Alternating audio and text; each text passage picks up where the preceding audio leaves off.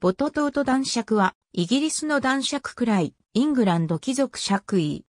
ジョン・ボトトートが1305年に、議会召集されたことを短所とするが、たびたび長期の保持者不在に陥っており、1984年以降は3度目の停止状態にある。第4代ボトトート男爵10代、男爵ヘンリー・サマセット。彼の死によって爵位は停止した。ジョン・ボトトートは、スコットランド独立戦争におけるイングランド王国側の指揮官を務めた武人である。彼は1305年に貴族院よりボトトート男爵として議会招集を受けて、その島で貴族院議員を務めた。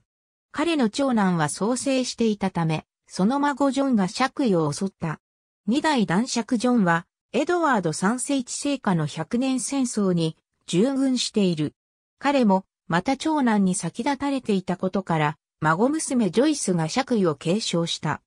しかし三代女、男爵ジョイスには子がなかったため、彼女の三人の叔母の間で爵位停止となった。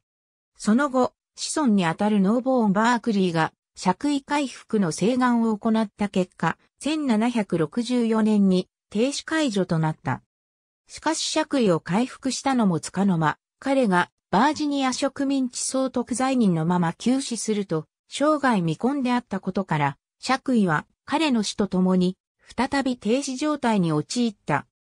これを帰化として、バークリーの老いにあたる第五代防法と公爵ヘンリー・サマセットは、爵位回復の請願を行ったところ、1803年6月4日に彼に帰属する胸の最低額だって停止解除となった。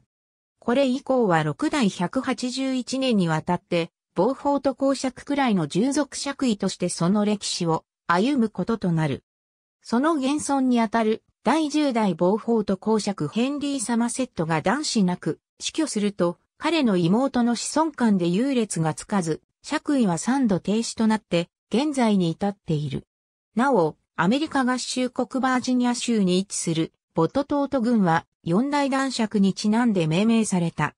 初代男爵の用いたインジボトトート男爵位は次に掲げるものに対して以下の持ち分によって停止している。なお、すべての推定相続人は十代男爵の上、妹ブランシェの子孫にあたっている。ノーボーン・バークリーは二代男爵の次女キャサリンの子孫にあたっている。彼の母、エリザベス・バークリーは四代男爵ノーボーンの妹に当たる。現在の爵位の共同推定相続人は事項を参照のこと。ありがとうございます。